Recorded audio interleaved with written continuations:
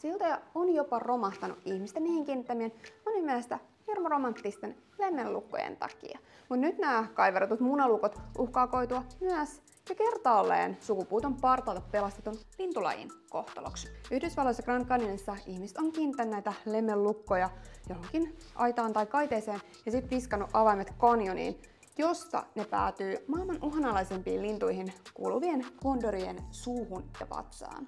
Grand Canyonin kansallispuisto onkin joutunut vetoamaan ihmisiin somessa, että tämä heidän rakkauden eleensä tukkii kondorien vatsan ja aiheuttaa niille jopa kuoleman vaaran. Ja siis tiesit sä, että tämmöisen Kalifornian kondorin siipiväli voi lähennellä jopa kolmea metriä. Kyseisiä lintuja oli 1980-luvulla jäljellä enää parisen kymmentä, mutta tästä eteenpäin niitä ryhdyttiin pelastamaan takaisin luontoon.